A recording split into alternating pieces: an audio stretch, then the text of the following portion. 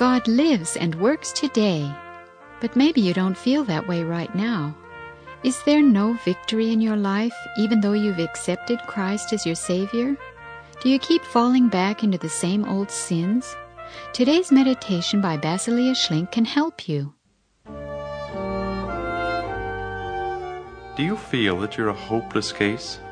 That you're so bound in your sins that it's impossible for you to become free from them? If you do, the question for you to consider is this Are you really taking the fight with your bondages seriously? Do you really want to be free? If you do, then you can't encourage them by trying to hide them from others.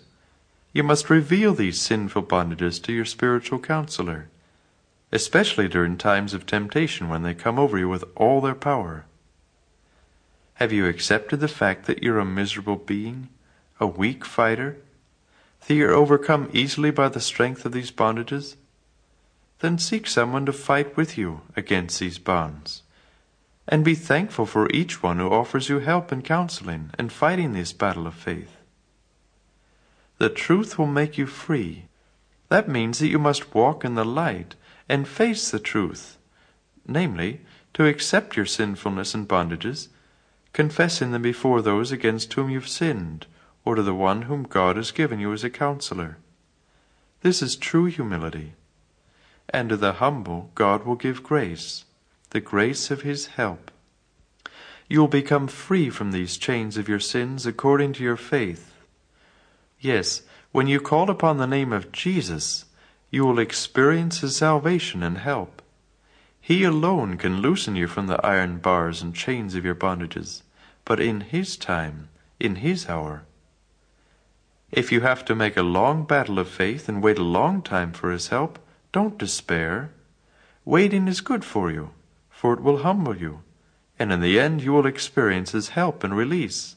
For God's name is Yea and Amen. His promises count and His fatherly love will never disappoint you. We receive God's aid to the extent that we believe in it. God is not like a human being who promises something and then doesn't fulfill it. No, what He promises He fulfills. Therefore, when we want to become free from our sins and bondages, we must believe until the end. Yes, believe and you will overcome. Believe and all will become new. God's promises come true. Whatever He says,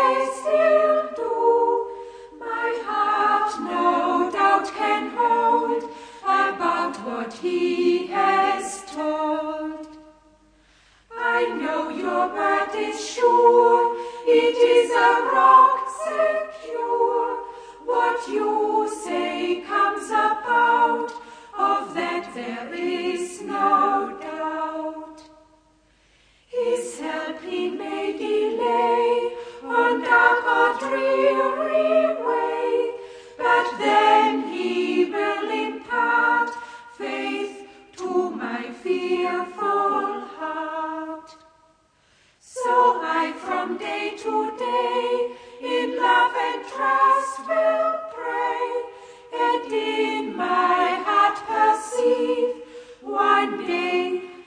will receive I.